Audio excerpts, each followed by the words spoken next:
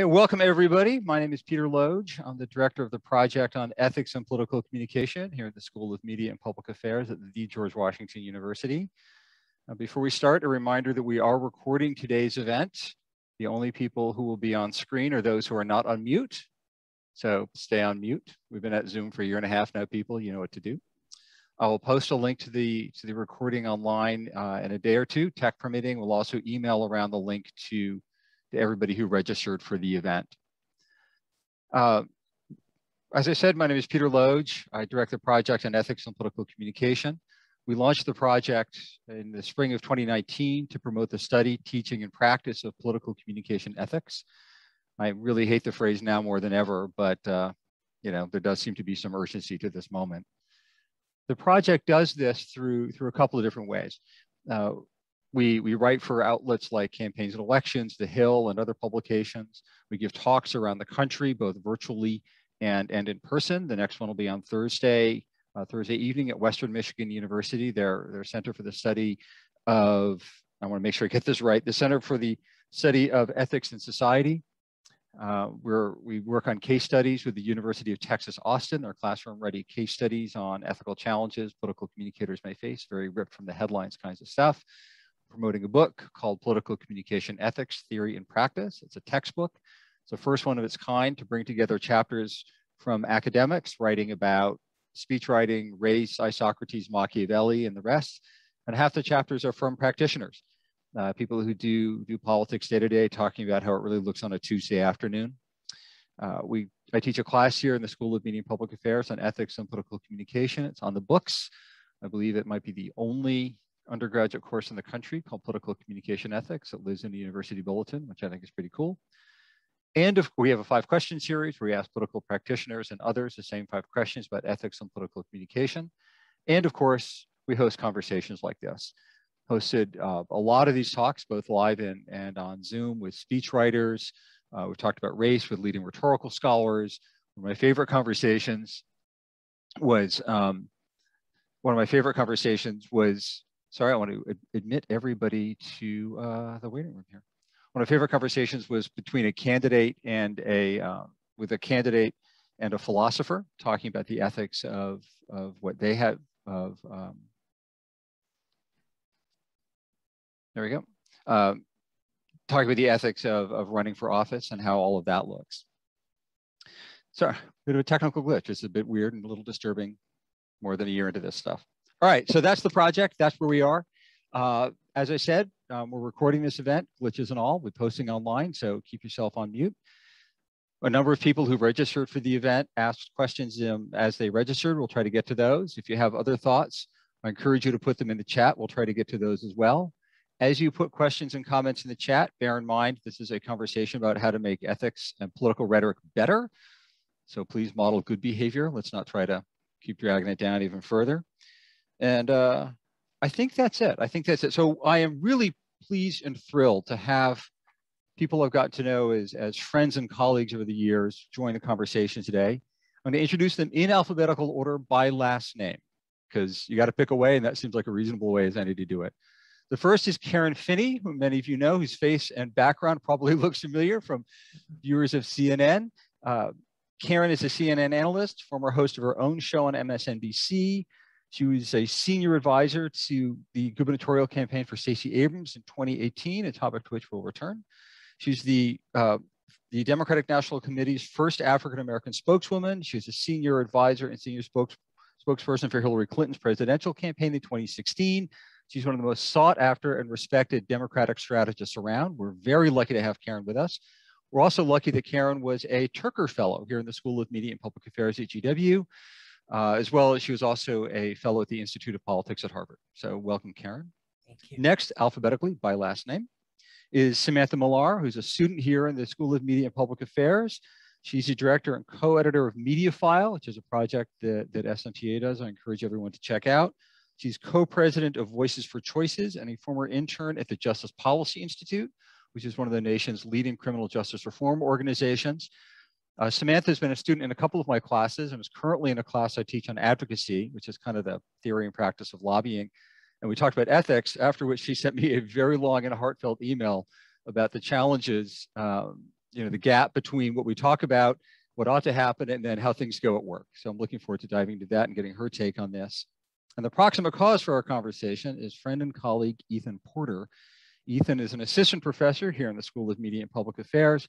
His writing has appeared in leading academic journals. We've got, he's got a lot more writing in leading academic journals coming out, one of which is the, the cause for this, with a number of his, his co-authors on political rhetoric and democratic trust. He's written for the Washington Post, for the New York Times. He regularly appears in national and international media. He's the author of False Alarm, The Truth About Political Myth Truths, Mistruths in the Trump Era. Um, he's been, been a leading researcher on, vocal advocate for the fact that fact checking actually works and people can learn if you tell them what's actually going on. Uh, he's most recently the author of The Consumer Citizen, which is a really interesting and thoughtful look at, at political behavior. It relies on, on political science and experimentation, but he also writes incredibly well. So it's actually a good read as well as a thoughtful and academically rigorous read. Um, and Ethan's just a, a terrific guy. So we're really lucky to have him with us. So with all of that, what I'm going to do is start by asking um, Professor Porter, you know, your research is the reason we're here. Tell us, and you and your colleagues, many of whom are also here with us, um, some of the most distinguished political scientists around are, are part of this research. Uh, what did you all do and what did you all find? Well, Peter, first of all, thank you for having me. Uh, Samantha, Karen, so great to be here. Uh, Karen, I've admired you from afar on TV, and Samantha, I've admired you also from afar on Zoom as a student of mine. Um, so it's it's really it's really great to, to join you. And of course, Peter, thank you so much for the very kind words of introduction. Um, so a basic finding in political science since forever has been that political leaders have effects on the beliefs of their followers. Um, this has been true for, for this is research has been showing this for decades, um, often about um, sort of comparatively small matters. Comparatively small meaning uh, political leaders can influence their, their, their followers' perceptions of the economy. Um, political leaders can influence their followers' perceptions of um, any number of indicators of uh, performance or uh, you know sort of the, the, the, state of affairs in the world. Um, now, compared to the particular topics um, we examine in this paper, those questions are small. Um, in, in, this paper, we examined whether or not political leaders can actually influence their followers' support for democracy. Um, we were inspired, you know, uh, obviously by, by Donald Trump, who spent uh, a fair bit of 2016 and a fair bit of 2020, as everyone on this call knows, attacking democracy, right? issuing uh, claims, making statements um, that, that to any observer would amount to attacks on the integrity of the American electoral system. Um, so suddenly, as a, as a, as a researcher, um, I said, as did many other people, um, hey, is, is Trump's rhetoric um, affecting people's views toward democracy? Um, so this isn't, you know, can a president make his followers think the economy is a little better than it actually is? This is something more fundamental. Um, so working with Brendan Nyhan, Tom Wood, Katie Clayton, and uh, Tim Davis, uh, and Tim Ryan, two Tims. Um, we spent a fair bit of the 2020, the tail end of the 2020 election, um, bringing people into a survey environment, and over time, over a period of weeks, randomly exposing them to uh, some of the most norm violating tweets of Donald Trump. Um, and through this randomization process, we actually get to isolate the effects of Trump's tweets on people's subsequent attitudes and behaviors. So we're not just looking at a correlation between, oh yeah, I saw Trump's tweets and I believe so and so. We're actually saying, no, Trump's tweets are causing, or perhaps not causing, um, certain changes in uh, the, the attitudes and behaviors of his followers. Um, so we conducted the study for about a month. Um, and, you know, again, the tail end of the election. We're, we're showing people real Trump tweets, real Trump tweets in which he attacked the election, as, as you all know he did. He did so often. He did so many times. So we don't, I mean, depressingly enough, we had a lot to choose from. Um, and, and there's sort of a good news, bad news uh, element to what we found. Um, the good news is overall, Trump's tweets um, did not cause Americans to lose faith in democracy or you know increase their willingness to endorse political violence. That's the good news. Um, the bad news is that once we broke down our findings, um, it became clear that um, a president's ability to influence his supporters' views um, isn't limited to perceptions of the economy. It extends to basic support for democracy. Um, Trump's rhetoric, you know, his, his anti-democratic rhetoric, so to speak, um, did have negative, uh, you know, statistically significant effects on support for democracy among his supporters, um, measured in a variety of different ways. Um, these effects proved pretty robust, um, and ultimately, I think were a little depressing, um, to be to be frank, because we all went into this hoping um, that we wouldn't find what we found. Um, I'll, I'll conclude with one, one um, additional wrinkle to these findings that I think is also worth um, just putting on the table. Um, we did not observe Trump's rhetoric uh, causing an increased support for political violence, even among his supporters.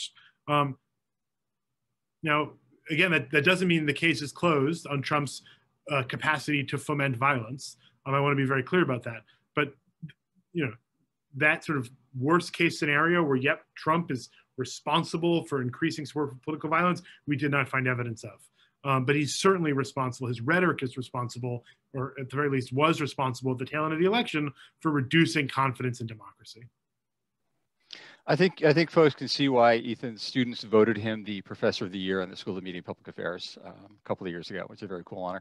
So, Karen, you've spent a career helping create political rhetoric for political leaders and would-be political readers are you surprised by what, what Ethan's found? What do you think? I'm not surprised. Um, first of all, thank you for having me. It's great to be here with everybody. Um, I'm not surprised, and particularly for a couple of reasons. Number one, there was a Pew study in 2019 that showed one in five Americans follow Trump on Twitter, roughly. And as I recall, in by 2020, before he his account got suspended, his reach, I believe, was bigger than the circulation of like the New York Times, the Washington Post.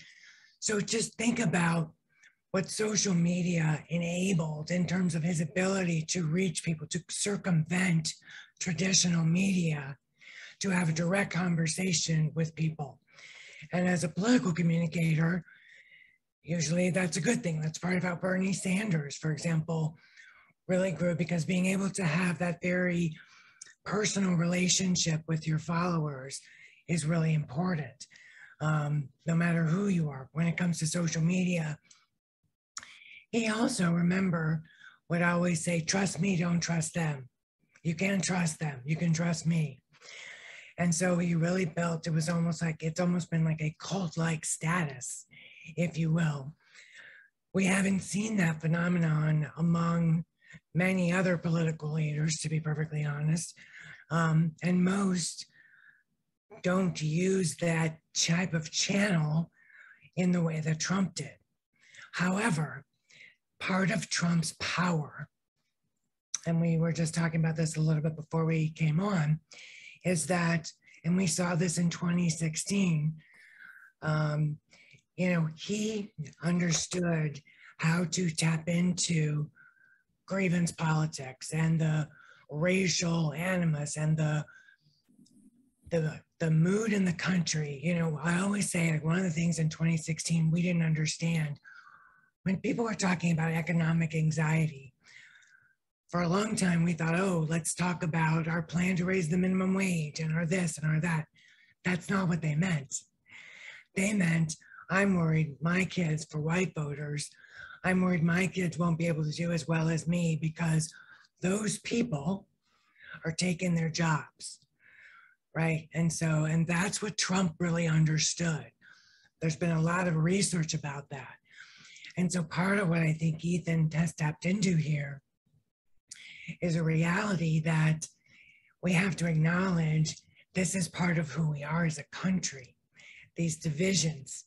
And someone like Trump was able to really tap into it and take hold of it in ways that got people to trust him or right wing media over what they could see and hear with their own eyes. That last thing I'll say on this, I think the one place where we started to see a fracture on this in 2020, and there were many along the way, but the biggest was COVID. Even though many of us believe, and polls have shown, he politicized mask wearing and to lengths that you know put people's health at risk. But when people were seeing in their own lives that what he was saying is not true, that was really the only way. That was the place where you started to see people start to break. Otherwise, they were willing to believe him. And again, because they felt like he understood their angst and their anxiety and their fear of the way the world was changing. So all, all of that makes sense. And I want to get back to, to the role of consultants in that and what, what you and I as an industry can do. But before we do that, I want, I want to ask Samantha, you're, you know, it's one thing for your professors and CNN commentators to say all of this. It's quite another to be a college senior studying political communication, wanting to change the world and about to enter this madness. Uh, what, what's your take on all of this? Yeah, thank you so much for ha for having me today. I'm really excited to be here, and I'm so excited to hear about Professor Porter's research and to hear from Karen Finney over Zoom. That's just very exciting. Um, I think part of the issue is that for so many people, and me included before I was really immersed in this and have spent four years studying it, I think the power and the danger that lies in political communication and political rhetoric is very abstract. Um, it took me four years to tr truly grasp how insidious it is and how far deep it goes and how powerful political rhetoric can be, especially in the digital age on social media. I think it's hard for people to grasp that the app that also gives them cat videos is where all the danger lies. I think it's really easy for people to kind of dismiss Trump tweets, even ones that are really violating democratic norms, as just a tweet or just a crazy article that your aunt clicked on. Um, I think it's I think that's how most people kind of process these things, and it's hard to register those as a threat. I don't really expect people to register it as a threat without having been immersed in it as as we are. Um, so I guess part of the concern that I have is how do we create urgency around this issue? How does misinformation kind of make it to the top of the agenda when it's such an abstract concept? Um, how do you create compelling media and news stories around something that you can't take pictures of? That's a, a very complex issue. So I think that's what I've been kind of concerned about recently regarding this issue. You know, you, raise, you raise a really good point. This is also very timely. Um, you know, this conversation probably could not be, be better positioned on the calendar. Today's the last day of voting in Virginia and New Jersey and elsewhere. The Virginia race is very contentious. I've already booked a TV hit on it tomorrow morning. I'm looking forward to your insights that I can then use to talk to other people with. Um, and it's also on the heels of uh, some research released over the weekend conducted by um, a, a nonpartisan organization that found, among other things, that 68% of Republicans believe that the 2020 election was stolen from Trump, that 82% of those who, whose most uh, trusted news source is Fox News says the 2020 election was stolen, and 97% of those whose whose most trusted news source is our far right outlets believe that the 2020 election was stolen. I mean, this and this was headline grabbing, right? I mean, I, it, it, made a bunch of media outlets, at least the ones that that, that I see. Um, Ethan, Karen, what do you are you surprised by these new findings?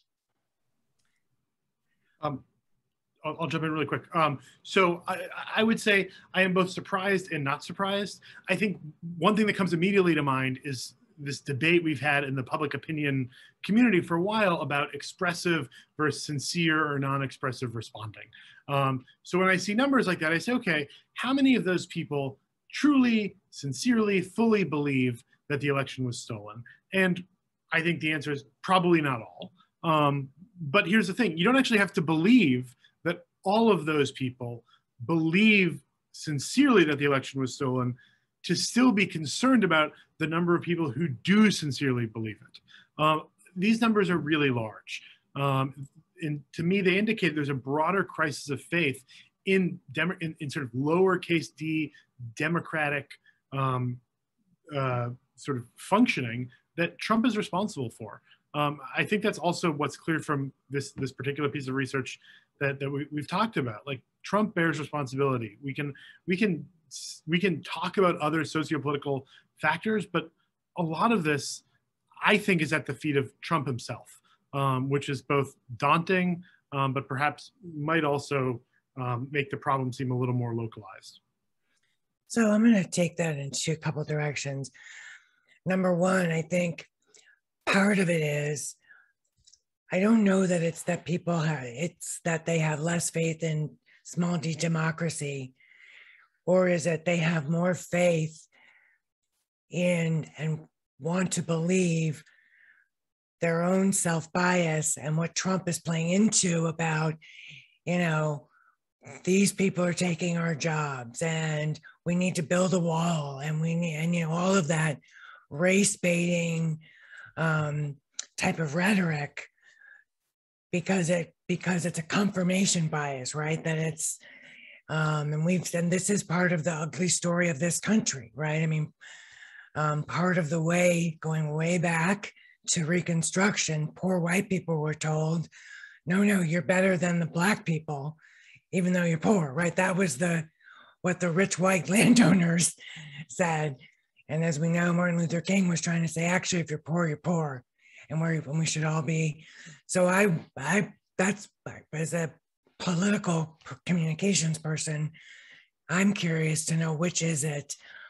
But I want to go back to something that Samantha said that's so important because as a as someone who does this for a living, you know, it did used to be different. There did used to be some norms and lines around what you could say, what you people's children were generally off limits, right? Unless that they were a certain age and participating in a campaign.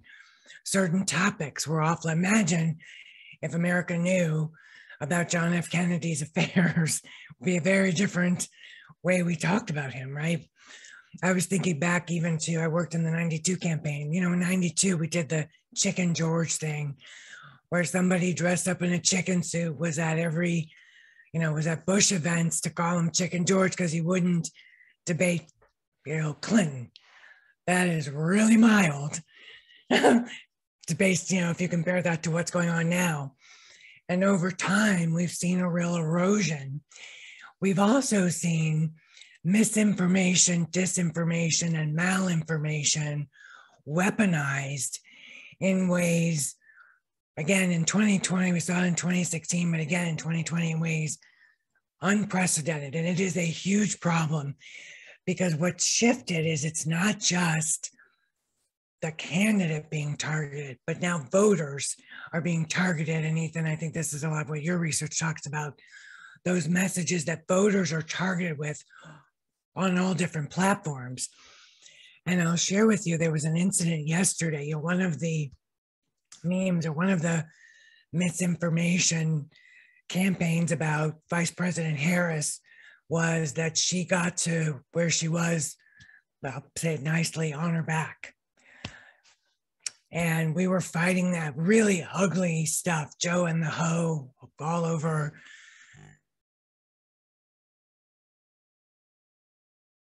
We've lost your audio, Karen.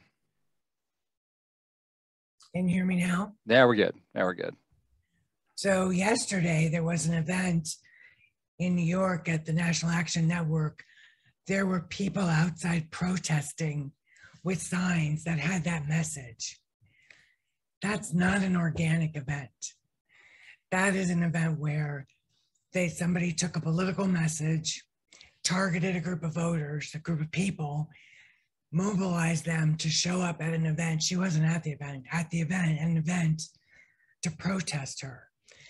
So I say that to say both the nature of the rhetoric the the meanness, the the the topics have completely shifted because the and the tactics. And there was a time when attacking democracy, for example, would have been unheard of. Um, and we are now in a whole new universe.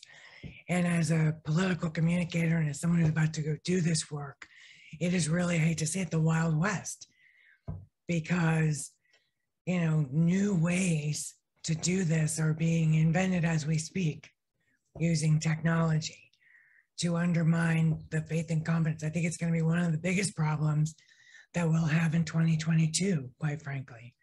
Um, and it'll be, and you'll, will be interesting to see how much we learn after today what's going on under the surface in New Jersey and Virginia.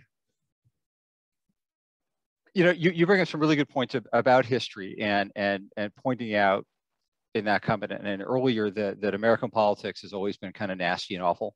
Um, during the Adams Jefferson election of 1780, I believe, Timothy Dwight, who was the president of, of Yale University at the time, and he supported um, Adams that if Thomas Jefferson were elected president, our wives and daughters would be subject to legal prostitution.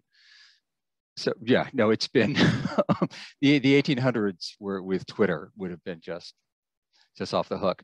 But but there is another piece of, of political history that I, think is worth bringing up. Um, this isn't the first time people have claimed claimed fraud after an election, right? Um, in 1960, one could make a very strong case that, that John Kennedy lost that election and that Nixon was elected.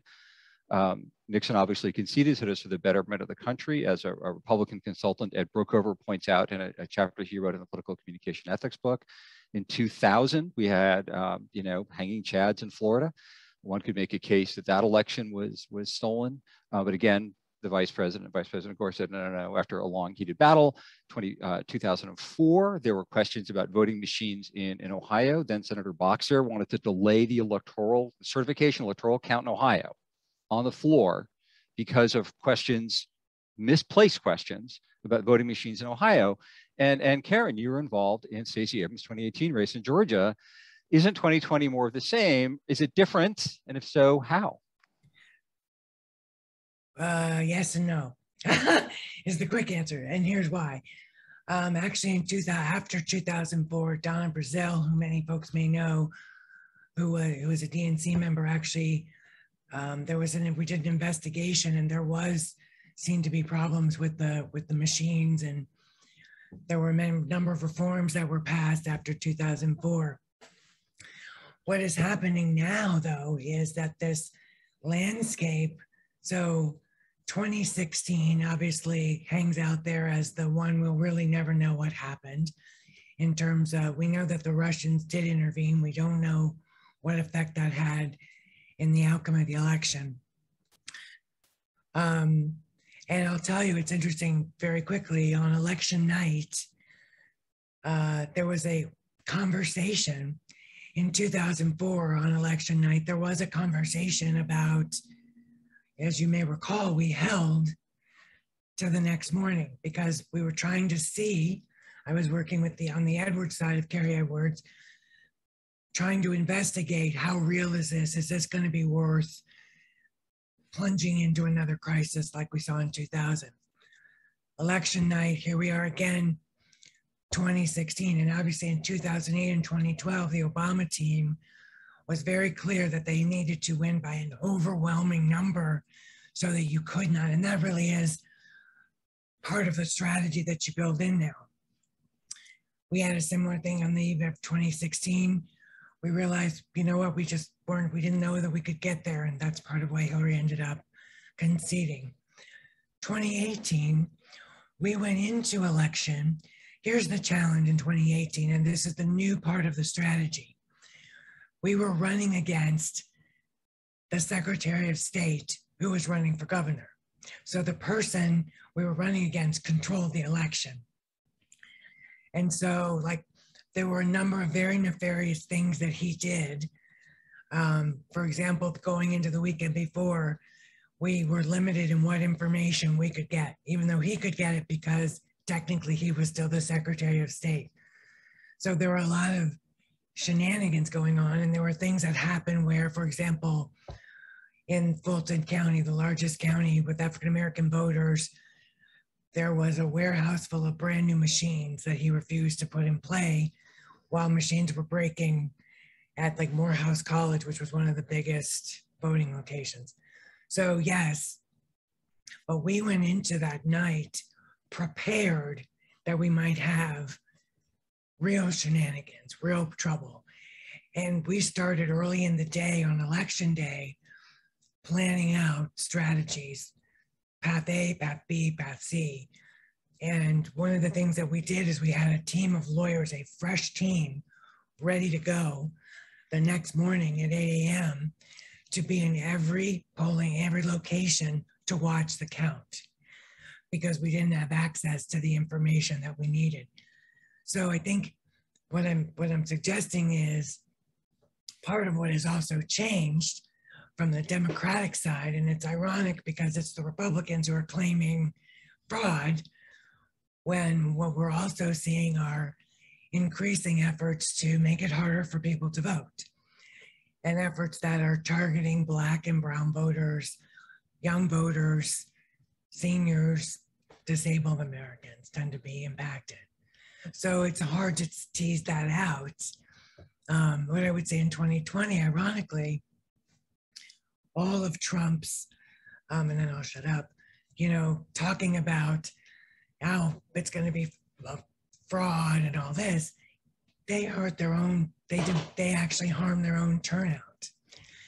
And it's interesting because today in Virginia, one of the things we know is we've seen that the Youngkin campaign has been a little concerned because the big lie has persisted, as Ethan's research shows, over the year this year. So they're having to work overtime to turn their base out and convince their base that it's not a rigged election. So, uh, Samantha, you've been you've been listening patiently for about 15 or 20 minutes. Um, you've been studying this diligently for four years. You're entering this field. Is it is it depressing? Is it optimistic? What are you? How do you view this this world you're going into? You need to take yourself off mute, though. Good idea. I'll do that first. Um, I've been thinking a lot about this ever since a lecture you gave in our class recently about the importance of ethics in political communication and in political rhetoric, keeping those ethics that you have um, written down somewhere and sticking to those throughout your entire career. And I remember being so shocked, even though that's that's a pretty sensical concept there, uh, because I, out of all the career advice offered, and GW thankfully offers a lot of it, um, and just from people that I've talked to, people I've you know networked with, trying to do all that, there's not often that piece of advice in there. I think the most advice and career advice that's given is often very urgent, which makes sense because I think most people my age, our futures are uncertain. We're concerned about what it's going to look like when we're going out to get jobs. Um, we're concerned about what the, the planet is going to be like in our futures. So there's a sense of urgency around securing a job and kind of taking whatever comes to you first. Um, and I think that kind of undermines the desire to stick strictly to personal ethics, especially at the beginning of your career. Um, so just in thinking about all of that, when I went into my internship this past summer with a nonprofit that works on justice reform here in DC, I felt what I felt comfortable doing professionally change. And it wasn't really until that lecture that you gave that I really validated those feelings because it kind of contradicted almost the advice that I'd been being given about taking what comes first to you and taking every opportunity you can. So I guess my concerns going forward, especially for everyone my age who's looking to go into a political communication job, is how do you balance those two concerns, the urgency, the nervousness around the uncertainty in our futures, and then the desire to really stick strongly to our personal ethics right at the beginning of our career and, and throughout the rest of it. You know, that raises a really good question, right? We spent about half an hour talking about, you know, how awful it is on a scale of 10 to 11. How terrible is this? 12 right, ends up being the answer. Um, and I do think there are some distinctions between 2000, 2004, 20, 2016, 18, and 20. And part of it is that in all of those cases, at some point, the, the guy conceded, right? Vice President Gore said, we wish the Bush presidency the best of luck. And I was, I was part of the Obama administration. And, and right after the election, um, all the secretaries got on the phone with, with all of the politicals and said, you, you serve the American people. Um, so go home, lick your wounds for the weekend, come back to Monday morning ready to work after 2018. Um, Stacey Abrams went out and registered a bunch of voters. So I feel like there, there, there may be a bit of a difference there. Karen, Ethan, how does Samantha, what advice do you give to Samantha and her colleagues about how to do better and how can we, because as you know, Karen and I also do some political consulting, how do you and I and our people, our profession, do better at this? What specifically can we do to make it better? Ethan, what do you think? Sure. So, you know, first of all, I, I think there's a broader crisis of elite norms um, in this country. Uh, in, in one of that crisis manifests itself among our politics. Um, and I think we've got evidence for that in the continued power of Donald Trump. Donald Trump has been completely um, adversarial toward norms, long established norms. And it turns out that, as my research shows, that his hostility to norms has consequences. I think that aspiring political communicators and people who wish to take sort of operative roles need to hold fast to a set of normative beliefs or, or ethics, uh, just a, a, set of standards that they're, they're not willing to, to sacrifice. And I think that's true on both sides. I worry about Trump sort of causing a, you know, it lowers the standards for everybody. Um, you know, so I, I think, you know, I'm a voter in Virginia, and this morning I see that, you know, Terry McAuliffe claimed that there was um, a, Trump Youngkin rally last night. Like there was no Trump Youngkin rally last night. Um, and I think we need to be clear well, Politico says there wasn't. I'm just going with what Politico. Politico yeah, I, I, yeah, right. I, am just following what the facts were told to me. I, I, just, I think we need to hold fast to sort of our beliefs. Um, otherwise, you know, you know, there's sort of this this doom spiral that can occur, and we all have a role to play in stopping it. Um, I, I, teach persuasion, and one of the political persuasion, one of the key lessons from the persuasion literature is if, if you see a problem developing, it's your responsibility to step in and intervene and not just be a, a, a sort of passive bystander. Um, and I think it, you know, behooves Samantha and, and, her, and her colleagues to, you know, once they're out in the world to say, no, no, I'm going to put a stop. I'm not going to permit this. Um, we're not going to do this. Um, and I think that, I, yeah, I think that's what it takes. It takes everyone committing to help stop it in their own way. Karen, you do this for a living. What do you think? I agree 100%. I will say there was a tele rally last night. It was a Trump got on the phone. They did it via telephone because, again, they were worried about turnout. Anyway, um, 100% agree. But I think, and I think we do it in two ways. Number one, and I do this as a commentator, and sometimes I've gotten in trouble, and sometimes I've, it's okay. You know, early on, people were calling Trump's lies you know, it was like miss truth, miss spoke. And sometimes you have to be the person who says, no, that's just not true. It's actually just not true. Um, so part of it is being a truth teller. Um, because I agree with Ethan that we have to be careful that, I mean, that's why I talked about like, you know, some of these norms have changed, technology and, and practices and tactics and technology has enabled weaponizing information in ways that we didn't do in the 90s or in the early aughts, right? So that's going to continue to happen. And we you've got to be able to say, this is what's true, this is what's not true, this is what I'm willing to do, this is what I'm not willing to do. What's hard about it is I'll say go back to the Stacey Abrams example. The reason we spent election day preparing for three different scenarios is that we were we knew we were fighting or up against someone who was not playing fair. And that's really hard. Same thing in 2016 same thing in 2020 trump doesn't play fair right and so it's really hard when that's your opponent and you have to I give the Biden campaign and our camp Hillary's campaign credit. We were not willing to to play that. We weren't going to call people rapists and murderers. We weren't going to. There were certain things we were just not going to do. And Peter, as you know, I've said this to your class. As a political communicator, we have a we have a real responsibility because we what you say really matters, right? Um, and what your boss says really matters. So being someone who helps people think about well, what if we said it this way instead of this way? Or just flat out say, you can say that, but I'm not going to represent, I won't say that for you. And being real clear where the lines are for you and never faltering that because once you do then that's that's when we get this the creep of the mission creep of you know, we are in a place that is bad for America and bad for our democracy. You know, Ethan, that's something I took from your research is that there's sort of an erosion of democratic norms, right? I mean, as Karen, as you indicated at, at the beginning, um, you know, Trump didn't invent this. Uh, Dave Chappelle, Washington, D.C.'s own beleaguered Dave Chappelle said Donald Trump didn't invent the wave, he's just riding it. Um, Ethan, your research seems to indicate that there's an erosion of norms and an erosion of norms do we start a virtuous cycle? You know, is there anything in your research or your colleagues' research, Ethan, to indicate that if Karen, you know, encourages her candidates to do better, if, if Samantha does does better, if we all do better, that things will get better? So the answer is maybe. Um, the most optimistic thing I can I can say is that a lot of my research I focus on disabusing people of false claims, of you know trying to counter misinformation, and, and by and large, fact checking works, right? So even though I know it has a it has a reputation for being a little square, a little boring, but it does its job, right? So in in, in a limited sense, um, if Don, you know, we, I showed this during the 2016 campaign.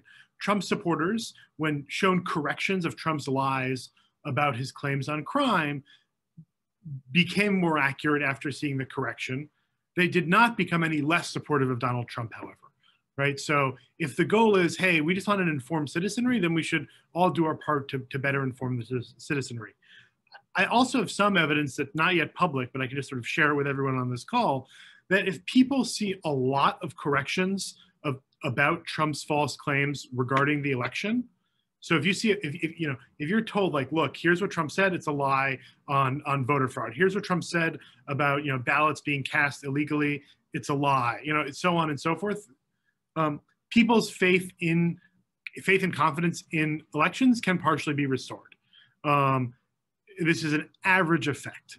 Um, so I, I think there is something to be said for simply providing people accurate information about some of these really pernicious lies he's disseminated. And and you're probably saying to yourself, well, it's not gonna. Why should I do that? You know, it's not gonna convince so and so. You know, my my my aunt or uncle is still gonna love Donald Trump, and, and maybe so. Um, but it might make a small difference. And speaking of, of virtuous cycles, if we all do our part and provide accurate information, our sort of small or marginal contribution, I think, can scale up. Can I also say, Peter, I think the second thing I would add to this, though, too, is speaking, just thinking about political communication. I actually think we have to go back to having more rigorous standards and practices.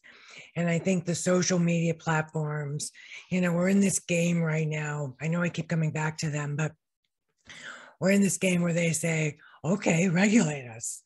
Because they know most of the people on Capitol Hill, God love them, don't even know how to use half these technologies. Let's be honest. So I do think we need to establish, reestablish some baseline norms when it comes to reporting, when it comes to, you know, media and information and how it is treated because there are no alternative facts, right? There is not, there can be, there are some things that are true or not true. And so like I mentioned before, it used to be, God, it kind of makes me feel old to say it like that. Way back when, you know, it used to be, like I said, if you wanted to put an ad on television, you had to present the research behind it that showed all your claims were true for a TV ad. We should reinstate that. We should, that should be the case, whether it's a Facebook ad, you know, any kind of digital ad, you should have to show the facts behind what you're saying. We're in a place where people just get to put wild stuff out there and people will still say crazy stuff and figure out ways to get it in the ether. But one other thing we can do is to say there need to be standards and baseline practices, and there need to be consequences that are real if those are violated. So, Samantha, we're just about at time, but we're again sending you into this world are we getting it right? Feel better? Feel worse? What's what's your what's your final take on all of this, or at least final take for the moment? Yeah, I think my final take for the moment. I really appreciate what Karen said about being the person who's not afraid to call it what it is, uh, which is that it's false. Um, it kind of sounds like that's an echoing theme throughout all of this, and I think that's, I think that could also be considered a positive um, from the culture on the internet currently that is all about sending out a bunch of information as well and, and releasing things and making things public and, and talking about it so i think that's a value that definitely needs to be leaned into um, and i think the regulations are something that also need to be uh, talked about way more i hope they make it closer to the top of the agenda as I was saying earlier, I think that's that's very hard to do. Um, but I, I really hope that they get up there. This has been a terrific and interesting uh, set of conversation starters. Um, I'm leaving it optimistic, more optimistic than I was about 45 minutes ago. Uh, there can be a virtuous cycle. Fact checking can work. We can do better. Um, Karen is advising her candidates to do better, talking about doing better on television as she's commentating. Uh, Ethan and his colleagues are doing important work on it. And, and anybody who's met Samantha and her colleagues in the School of Media and Public Affairs know they are committed to, to doing the right thing the right way, even if they don't always agree on what the right thing to do is. Um, and I also think it's it's really heartening that so many of you came out today in the, in the middle of a, a, Tuesday afternoon. I know the people on on this are election officials around the country, journalists, political professionals, students, and professors. So uh, thank you all. Thank you for your continuing support of the project on ethics and political communication. All of you will get a link to this video in the next couple of days. Thank you, Samantha, Ethan, and Karen for all of your work, for your time today, and uh, onwards and upwards. Have a great afternoon, everybody.